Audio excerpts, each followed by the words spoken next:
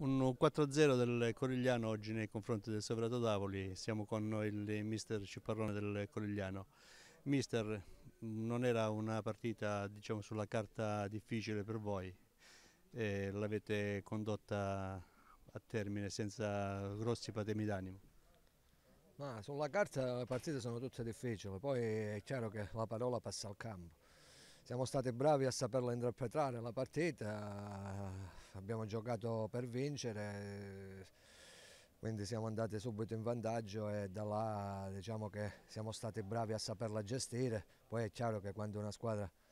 è seconda in classifica i valori tecnici emergono e poi al secondo tempo abbiamo dilagato, quindi è un risultato che, che è frutto di un lavoro fatto quest'estate che oggi ci porta a essere seconda in classifica a giocarci il campionato fino alla fine. Ecco, era un momento in cui stavate giocando entrambi bene, sia il Soverato che il, che il Corigliano chiaramente. Poi ogni volta che voi avete affondato avete, sempre, avete dato la sensazione che in qualsiasi momento potevate essere pericolosi e così è stato perché in effetti quattro affondi pericolosi, quattro gol, tutti con buone realizzazioni, ottime realizzazioni. Ma ne abbiamo, ne abbiamo sbagliati anche altre, soprattutto nel primo tempo. È chiaro che poi la qualità, la qualità, del reparto avanzato che abbiamo è chiaro che dopo deve per forza di cose fare la differenza, quindi siamo stati bravi a, a, costruire, siamo stati bravi a realizzare, siamo stati bravi a saperla gestire nel momento in cui il Soverato ha avuto, ha avuto la rivalsa nella nostra metà campo. Eh, diciamo che penso che sia, sia, un risultato meritato alla luce del, del 4-0, penso sia un risultato meritato perché ho visto buona volontà da parte del, del Soverato, però è chiaro che la differenza tecnica si vede. Ora mh, con voi secondo in classifica, chiaramente eh, quando pensa che si può delineare chi è la vincente di questo girone, secondo lei? Ancora mancano nove partite, ci sono tanti punti a disposizione noi dobbiamo, siamo, siamo, condannati a vincere, nel senso che se vogliamo vincere il campionato siamo, siamo nelle condizioni di poterle vincere tutte, quindi sta a noi eh, determinare il nostro destino. Se siamo bravi, concentrati, attenti eh, tutte le nove partite restanti,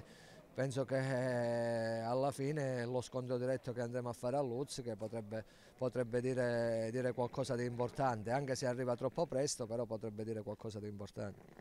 Siamo con il preparatore atletico della squadra del Sovrato Tavoli Garcea. Professore Garcea, non era questa la partita da vincere per il Sovrato Tavoli chiaramente, ma un, non avete giocato male, purtroppo uscite ancora una volta sconfitti con un, un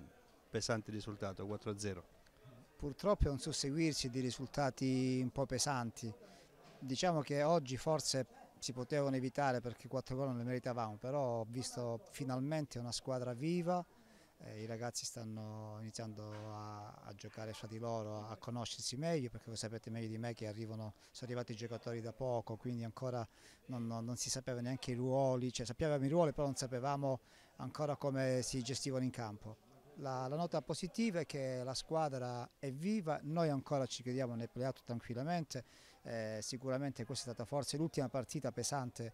eh, che, abbiamo, che, abbiamo, fatto, perché dalla prossima, vedendo la squadra oggi, siamo molto fiduciosi. Fino al primo gol avete giocato diciamo, azione su azione, sia il Sovrato Tavoli che il Corigliano, poi dopo il gol è stato un susseguirsi di azioni pericolose da parte dei Corigliani e voi che siete un po' spariti in fase realizzativa, non in fase di gioco perché diciamo che questo, il Soverato da tavoli di oggi onestamente forse uno dei meglio eh, che ho visto in questa stagione. Niente, se lei ha visto, come vi dice bene, lei i primi 25 minuti della partita abbiamo avuto noi due azioni nitide da, da, da gol che purtroppo non sono state fatte, però noi abbiamo purtroppo questo calo di tensione, vai per inesperienze di, degli andri che abbiamo in campo, vai per inesperienza in generale, perché dopo il primo gol noi ovviamente cerchiamo, non riusciamo mai a, ad andare avanti e, e, a riprendere la partita, quindi c'è un po' di sconforto, poi sai meglio di me, ne stai perdendo più di una, quindi la squadra perde anche un po' di fiducia, però diciamo che oggi visto i ragazzi si sono guardati in faccia nello spogliatoio, li ho visti non mollare e questo è importante. ovviamente la squadra vista oggi contro di noi eh, merita il posto in classifica, c'ha quattro giocatori che hanno fatto categorie superiori, voi sapete meglio, eh, basta solo Sarli che ha fatto la categoria, dire, Riolo e altri, quindi per adesso è così, poi da domenica prossima speriamo che ci sia la svolta, non in modo oh, eccellente, una svolta decisiva per la squadra. Un'ultima cosa mh, mm, riguardo l'espulsione del, del, vostro difensore per la trattenuta plateale che ha fatto ai danni di Riolo. Secondo lei se la poteva risparmiare a quel punto della partita cambiava mo, non cambiava nulla, però avevate un uomo in più per domenica. Per un giocatore penso che lasciar, lasciar passare l'uomo, fa, fargli fare il tiro per segnare non penso sia una cosa facile. Non sei a mente fredda che ci ragioni, dici potevo evitare e lo lascio passare. A mente calda un difensore che vede un attaccante che sta andando in porto lo ferma in tutti i modi. Questa è l'unica giustificazione.